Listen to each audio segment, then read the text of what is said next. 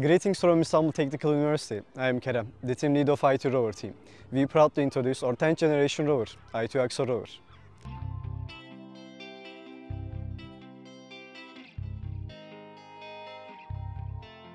Established in 2016, our team brings together students from various disciplines to collaborate in the field of space robotics in rover science. Over the years, we have built a strong multidisciplinary team involving students from every faculties of ITU. Currently, our team is composed of 42 dedicated members and divided into six specialized sub-teams, which are mechanical, electronics, software, science, organization and design. The mechanical subteam handles structural design and manufacturing of the rover. The electronic subteam develops embedded systems, manages power distribution, and designs custom printed circuit boards. The software subteam creates advanced algorithms and integrates them into the rover system. The science subteam works on simulating Mars geology and conducting surface analysis experiments. On the management side, the organization subteam manages finances and sponsorships, and the design subteam maintains our brand identity and produces content for social media. We participate in the European Rover Challenge to test ourselves against international standards and to keep pushing the boundaries of what we can achieve. Our vision is to lead innovation in space exploration, to inspire future engineers and proudly represent our country on a global platform. We are ready for the European Rover Challenge 2025.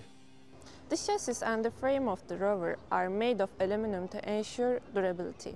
A rocker suspension system integrated with a differential bar enables dynamic adaptability and smooth traversal across uneven terrain. Brushless DC motors are housed within aluminum wheel hubs, protecting them from external elements. The wheels are made of 3D printed TPU with ABS rims, offering a balance so they can absorb vibrations. In terms of dimensions, the rover measures 1.1 meters in length, has an overall width of 1 meter, and maintains a ground clearance of 0.3 meters. The electronic box function as the central nervous system of the rover. The voltage from the battery is stepped down to 24, 19.5, 12 and 5 volts level via a custom designed power distribution board. The vehicle is powered by 42 volt lithium ion battery with a special designed power distribution board that includes a two-stage switch. This switch also serves as halk-gear button that cut off all power from the rover during emergency. The system uses different colors to identify each voltage level for safety purposes. To ensure precise motion control, the vehicle uses Hall effect sensor integrated into the motor that drive the wheels along with a PID control algorithm. The data obtained from the Hall effect sensor is processed by motor driver circuit based on STM32 microcontrollers. All actuator commands and sensor data are transmitted to the MVCU through various communication protocol. The MVCU consists of three STM32-based microcontrollers interconnected by a custom two-layer PCB. The microcontrollers communicate with each other via SPI. An RGB LED located next to the antenna is used to indicate the different states of the vehicle. The base station and rover communicates using Wi-Fi modules operating at 2.4 and 5.8 GHz frequencies. The driving system achieves localization through a SLAM algorithm that processes point cloud data from LiDAR and IMU sensors. This localization data is crucial for both path planning and obstacle avoidance. The rover autonomously navigates between target points by detecting AR tags placed throughout the environment. A behavior tree architecture is implemented for decision making during navigation. Additionally, the rover can be manually controlled via a web-based interface that streams camera feeds. This interface also allows command execution and the visualization of scientific data through interactive graphs. Our robotic arm has 6 degrees of freedom and features custom designed cycloidal reducer developed by our team. Cycloidal reducers allow for high torque transmission with very low backlash. This ensures smooth and precise motion, which is especially important when operating on rough terrain that requires stability and accuracy. To optimize both strength and weight, we use carbon fiber tubes and aluminum parts in the structure.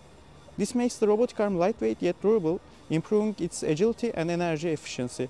As a result, our robotic arm can perform a wide variety of tasks reliably in challenging conditions. The sensor information was processed using ROS. The calculation results were transmitted to MoveIt. In this way, the robot arm easily performs functions such as holding tools, turning knobs, pressing buttons, and taking things out of drivers using inverse kinematics. A USB camera was used for better performance. Encoder data was used in the PID control loop to ensure the robot arm moves with high precision. The communication between the motor drivers was provided via the CAN FD bus for smooth and reliable communication. Based on the obtained results, the manipulator was tested in various real-world scanners and simulated environments such as gazebo. We use drones to manage sensor data and operate our robotic arm in both real-world tasks and simulations such as gazebo. To move the end effector, we applied the decoupling method for inverse kinematics, allowing precise positioning and orientation. By processing camera images from the arm with the Tesseract OCR engine and combining the output with MOVEit, the robot was able to interpret visual input and autonomously perform complex actions, including typing on a keyboard. Our drone is built on quadrotor airframe using 3D printed materials, offering both lightness and structural strength, while also staying within the ERC set weight limits. The frame has been field tested to withstand less desirable flight conditions. We have selected brushless motors as our propulsion unit. These motors are easy to maintain, cost-effective and generate great thrust for aerial operations. The flight controller is a Pixhawk running ArduPilot firmware, supported by power distribution board and buck converters to power those systems.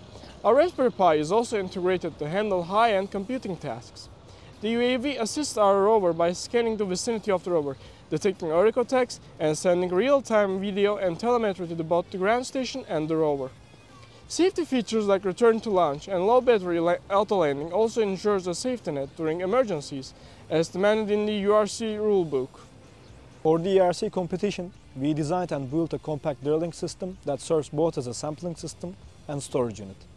It is capable of drilling up to 20 centimeters deep and collects 5 grams of soil, fully meeting the competition requirements.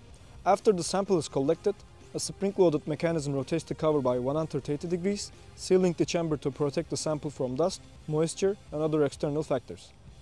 The system is built from lightweight yet durable materials, making it suitable for harsh terrain while maintaining a low weight. With dimensions of 20 by 30 by 70 centimeters and a weight of 8 kilos, it integrates seamlessly with rover without affecting mobility or stability. In addition to the drilling system, our rover includes a functional gripper arm that can pick up rocks and other surface materials. This allows us to collect both subsurface soil and surface rock samples, increasing the scientific value of the mission. Valles Marineris region is a system of canyons through rift or rift valleys that may have formed as a result of extensional stress. Moreover, Valles Marineris is 4,000 km long and consists of chasm systems with relief up to 11 km in central parts. So we need to choose the place where the rover will land carefully. The most important features we paid attention to when determining our landing area were chasm systems, mass movements and landslide areas, so that our rover could land safely.